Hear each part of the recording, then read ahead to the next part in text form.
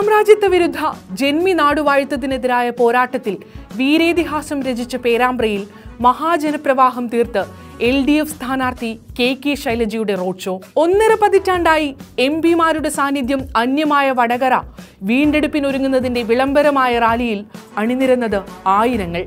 ആറു വർഷം മുൻപ് നിപ വിപത്തിനെ കരുതലോടെ നേരിട്ട ആരോഗ്യമന്ത്രി എന്ന നിലയിൽ കെ കെ ശൈലജ പേരാമ്പ്രയ്ക്ക് പ്രിയങ്കരിയാണ്. ആപത്ത് കാലത്ത് കൂടെ നിന്നവരെ കൈവിടില്ലെന്ന പ്രഖ്യാപനം കൂടിയായി റോഡ് ഷോ. പാർലമെന്റ് അംഗമായാൽ രാജ്യത്തിന്റെ ജനാധിപത്യവും മതേതരത്വവും തകർക്കുന്നവർക്കെതിരെ ശക്തമായ പ്രതിഷേധമുയർത്തുമെന്നും കേരളത്തിന്റെ അവകാശങ്ങൾക്കും വികസനത്തിനുമായി നിലകൊള്ളുമെന്നും കെ കെ ശൈലജ പറഞ്ഞു.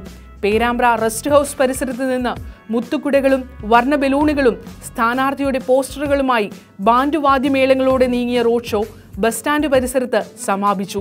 വഴിനീളെ നൂറുകണക്കിന് ആളുകൾ അഭിവാദ്യമർപ്പിച്ചു.